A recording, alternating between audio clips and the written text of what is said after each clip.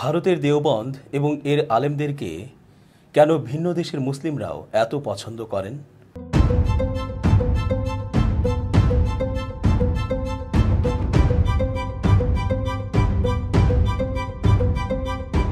আসসালামু আলাইকুম। সুপ্রিয় দর্শক, শুভেচ্ছা রইল। এস জে রতন স্বাগত জানাচ্ছি আন্তর্জাতিক চোখ অনুষ্ঠানে। ভারতে মুসলিমরা কোণঠাসা হয়ে থাকলেও সে দেশের আলেমদের জ্ঞান চর্চা ও ইসলামের বিভিন্ন অঙ্গন নিয়ে ব্যাখ্যা প্রদান করার ক্ষমতা বেশ প্রশংসাসূচক। দারুল উলুম দেওবন্দ নামের ধর্মীয় প্রতিষ্ঠানটিকে সেই জ্ঞানচর্চার সূতিকাগার বলা যায়। তাই বিশ্ব মুসলিমদের মধ্যে বেশ সুনাম কুড়িয়েছে এই প্রতিষ্ঠানটিও। বিশ্বের বহু দেশের মুসলিমরাই তাদের ধর্মীয় পথ নির্দেশনার জন্য তাকিয়ে থাকেন ভারতের দারুল উলুম দেওবন্দের দিকে। সে দেশের ওলেমারা যে মাদ্রাসা স্থাপন করেছিলেন আঠারোশো ছেষট্টি সালে। এই মুহূর্তে বিশ্বের নানা দেশের প্রায় হাজার ছয়েক মুসলিম ছাত্র পড়াশোনা করছেন সেখানে। ভারতের তো বটেই। বাংলাদেশ, পাকিস্তান, আফগানিস্তান, মালয়েশিয়া, মধ্যপ্রাচ্য কিংবা ব্রিটেন, আমেরিকা, দক্ষিণ আফ্রিকা থেকেও ছাত্ররা শিক্ষা নিতে আসেন এই ঐতিহ্যবাহী প্রতিষ্ঠানে। ভারতের সুপরিচিত ইসলামী ইতিহাসবিদ আখতারুল ওয়াসি জানান দেড়শো বছর আগে ভারতে মুসলিম শাসনের অবসানের পরই কিন্তু দেওবন্দ স্থাপনের প্রয়োজন অনুভূত হয়েছিল। অধ্যাপক ওয়াসির এর কথায়, যখন আঠারোশো সাতান্ন সালে সিপাহী বিদ্রোহ ব্যর্থ হল ও বাহাদুর শাহ জাফরকে গ্রেফতার করে রেঙ্গুনে নির্বাসিত করা হলো, ভারতীয় মুসলিমরা তখন ভাবলেন, ক্ষমতা হাতছাড়া হলেও নিজেদের ধর্মীয় পরম্পরা তো রক্ষা করতে হবে। সেই ভাবনা থেকেই আঠারোশো ছেষট্টি সালের ত্রিশ মে দেওবন্দের সত্যওয়ালি মসজিদে মাত্র একজন ওস্তাদ ও একজন সাগরেদকে নিয়ে এই মাদ্রাসার জন্ম। ঘটনাক্রমে যাদের দুজনের নামই ছিল মাহমুদ, সেদিনের সেই ছোট্ট মাদ্রাসাই আজ মহিরুহের মতো এক বিশাল প্রতিষ্ঠান যার স্বীকৃতি ও সম্মান গোটা ইসলামী বিশ্ব জুড়ে। দেওবন্দে আরবি বিভাগে পড়াশোনা করেছেন এমন এক বাঙালি ছাত্র জুবায়ের আহমেদ বলছিলেন, দেওবন্দে আরবি বিভাগে পড়াশোনা করেছেন এমন এক বাঙালি ছাত্র জুবায়ের আহমেদ বলছিলেন, দেওবন্দ প্রতিষ্ঠার সময় মূল ভাবনাটাই ছিল বিশ্বের মাঝে ইসলামী কৃষ্টি ও সংস্কৃতিকে সঠিকভাবে তুলে ধরা, আর সে লক্ষ্যে আজও এই প্রতিষ্ঠান একশো ভাগ সফল। তার সতীর্থ বিহারের কাটিহারের মাসকুর আলম বলেন, স্বাধীনতা সংগ্রামের সময় আমাদের উলেমারা এই প্রতিষ্ঠানের ভিত গড়েছিলেন। আর আজও হিন্দুস্তান সহ সারা বিশ্বে ছড়িয়ে আছে। এখানকার ছাত্ররা সারা দুনিয়া আকৃষ্ট হচ্ছে দেওবন্দের প্রতি। আসলে উত্তরপ্রদেশের ওই অখ্যাত শহরেই গত দেড়শো বছরেরও বেশি সময় ধরে হাদিস আর হানাফিজমের ভিত্তিতে পড়ানো হয়ে আসছে বিশেষ ইসলামী পাঠ্যক্রম, যার নাম দার্সি নিজামি। বাংলাদেশে হেফাজতে ইসলামের প্রাক্তন প্রধান প্রয়াত আহমেদ শফি কিংবা সে দেশের প্রবাদ প্রতিম রাজনীতিবিদ, মরহুম মৌলানা ভাসানীও পড়াশোনা করেছিলেন এই দেওবন্দেই। ভারতেও বদরুদ্দিন আজমল বা মাহমুদ মাদানির মতো রাজনীতিবিদ কিংবা মালয়েশিয়া, পাকিস্তানের মতো দেশেও অনেক ইসলামী নেতার শিক্ষা দীক্ষা এই প্রতিষ্ঠানেই। কাজেই দেওবন্দের আকর্ষণ যে আন্তর্জাতিক তা বলার কোনো অপেক্ষা রাখে না। দারুল উলুম থেকে গবেষণা সম্পন্ন করেছেন বুলন্দ শহরের আবদুল্লাহ খান যেমন বলছিলেন দেখুন, ইসলামী বিশ্বে কায়রো বা মদিনার মতো বড় বড় শিক্ষা কেন্দ্র অনেক আছে। দেওবন্দের পরিসর হয়তো বিশাল নাও হতে পারে, কিন্তু এটা হলো পাউরুটির ওপর মাখনের মতো। মানে এখানে যে ইসলামী জ্ঞান, শিক্ষার গভীরতা বা আধ্যাত্মিকতার পাঠ আপনি পাবেন, তার তুলনা কোথাও মিলবে না। পশ্চিমবঙ্গবাসী দেওবন্দের ছাত্র মোহাম্মদ সায়েম আবার বলছেন, দারুল উলুম দেওবন্দের মূল দৃষ্টিভঙ্গিটাই হল দিন ই মাসলাকের সমস্ত ক্ষেত্রে বা সব বিষয়ে মধ্যপন্থা অবলম্বন করা। মানে বাড়াবাড়িও না, ছড়াছড়িও না। সেই স্বাভাবিকতা বজায় রেখে ইসলামের মূল ধারার যে চিন্তা, দারুল উলুম আজ অবধি সেটাকেই নিষ্ঠা ভরে লালন পালন করে এসেছে। কিন্তু দেশ ভাগের পরও কীভাবে দেওবন্দ সীমান্তের অন্য পারেও তার আবেদন ধরে রাখতে পেরেছে? অধ্যাপক আখতারুল ওয়াসি জবাব দেন, আসলে দেওবন্দ প্রতিষ্ঠার পেছনে ধর্মীয় শিক্ষার পাশাপাশি সাম্রাজ্যবাদের বিরোধিতাও সামিল ছিল। সেখানেই এর বিশেষত্ব। করাচি থেকে কামরূপ সর্বত্রই দেওবন্দি মাদ্রাসার ছড়াছড়ি আর তারাই সেখানে ধরে রেখেছে দেওবন্দের প্রভাব। কারণ যারাই এখান থেকে পড়াশোনা করে বেরোতো, তাদের বলা হতো নিজের নিজের এলাকায় গিয়ে একই সিলেবাস অনুসরণ করে তোমরাও সেখানে পাঠশালা চালু করো। জন্মলগ্ন থেকে আজ পর্যন্ত দেওবন্ধ কখনো এক পয়সা সরকারি বা রাষ্ট্রীয় সাহায্য নেয়নি। ফিরিয়ে দিয়েছে রাজা বাদশাহদের অনুদানও। দারুল উলুমের প্রতিষ্ঠাতাদের বিধান ছিল সেরকমই। ফলে আজও এই প্রতিষ্ঠান চলে মহান আল্লাহ পাকের ইচ্ছে, পুরোপুরি সাধারণ মানুষের দানে আর তাদেরই সাহায্যের মাধ্যমে। বলা হয়ে থাকে, যে পরিবার দেওবন্ধকে সামান্য এক মুঠো চালও দিয়েছে, তাদের সঙ্গে এই প্রতিষ্ঠানের সম্পর্ক রয়ে যায় বংশ পরম্পরায়, নারীর টান থেকে যায় আজীবন। আর সে কারণে এই দেশভাগের ফলে দক্ষিণ এশিয়ার ভূগোল হয়তো বদলে গেছে কিন্তু বাংলাদেশ বা পাকিস্তানের মুসলিমদের সঙ্গেও দেওবন্দের ইতিহাসের টান অত সহজে ছেঁড়ার নয়। আঠারোশো সালে বেশ কয়েকজন বিশিষ্ট ইসলামী পণ্ডিত এটি প্রতিষ্ঠা করেন।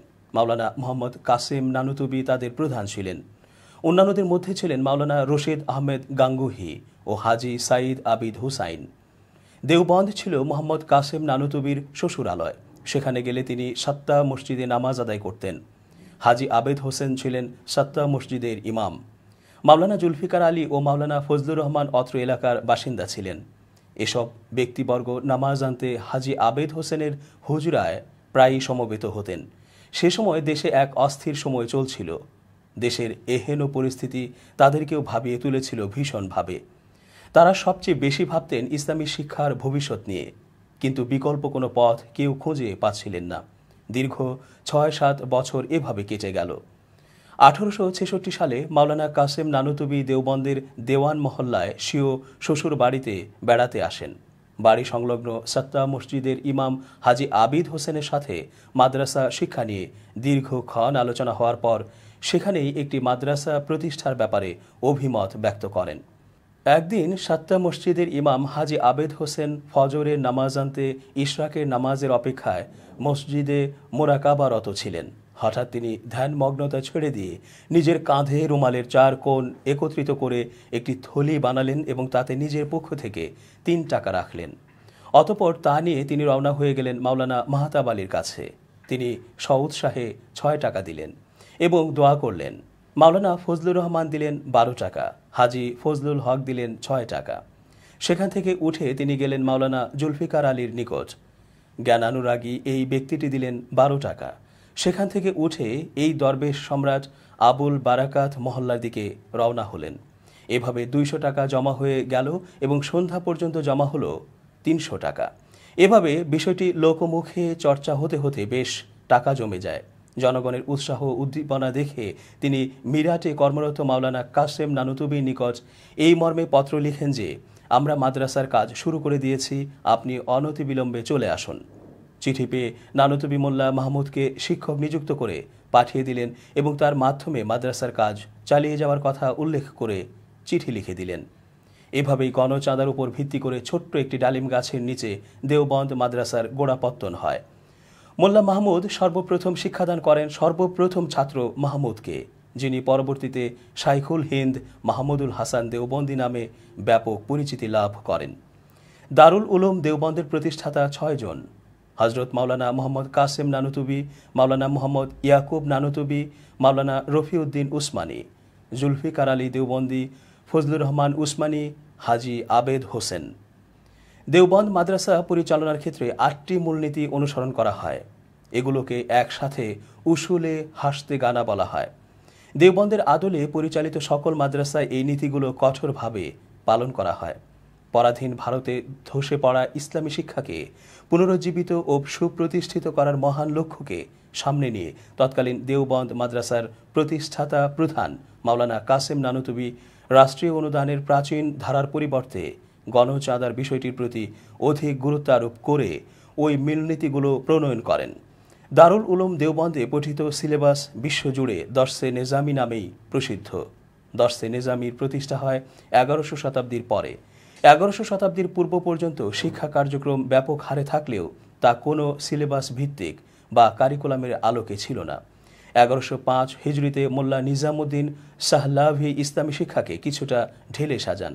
তিনি দর্শে নিজামি আকারে মাদ্রাসা শিক্ষা পদ্ধতি চালু করেন। তিনি ছিলেন একাধারে দিনের সুদক্ষ আলেম, ফিকাহ, শাস্ত্রবিদ, দার্শনিক, ভাষ্যকার এবং একজন শিক্ষাবিদ। তিনি উত্তর ভারতের সাহালি শহরে এক হাজার আটাশি উননব্বই মোতাবেক ষোলোশো সাতাত্তর আটাত্তর সালে জন্মগ্রহণ করেন। হিরাতের প্রসিদ্ধ শিক্ষাবিদ শায়খ আবদুল্লাহ আনসারি ছিলেন তার পূর্বপুরুষ। শায়খ নিজামুদ্দিন সাহালিতে ইসলামী শিক্ষাকেন্দ্রের সূচনা করেন। তারই প্রপৌত্র শায়খ হাফিজের জ্ঞান সাধনায় মুগ্ধ হয়ে সম্রাট আকবর তাকে ওই এলাকায় ভালো একটি জায়গির প্রদানের নির্দেশ দেন। ফলে শায়খ ও তার পুত্রগণ নিশ্চিন্তে তালিমের কাজে মগ্ন থাকেন। ছাত্রদের খাদ্য ও বাসস্থানের সুষ্ঠু ব্যবস্থাও করেন।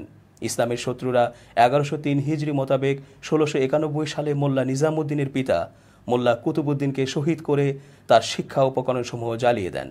ফলে মোল্লা নিজামুদ্দিন তার চার ভাই সহ ভারতের উত্তরপ্রদেশের রাজধানী লখনৌ চলে যান।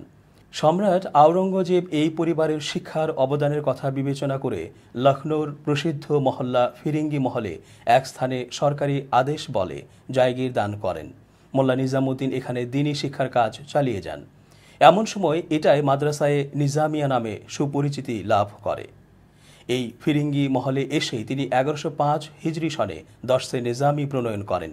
তিনি গঠনমূলকভাবে অত্যন্ত বিচক্ষণতার সাথে প্রায় এগারোটি বিষয়ের সমন্বিত সিলেবাসটি প্রণয়ন করেন। ইতিহাসে এটাই দর্শে নিজামি নামে পরিচিত। দারুল উলুম দেওবন্দ প্রতিষ্ঠার পরে উক্ত দর্শে নিজামি মাদ্রাসার নেশাবভুক্ত করা হয়। আজ অবধি এই দর্শে নিজামি বিদ্যমান রয়েছে দারুল উলুম দেওবন্দের নেশাবে দর্শক, শেষ করছি আজকের মতো। ভালো থাকবেন। আল্লাহ হাফেজ।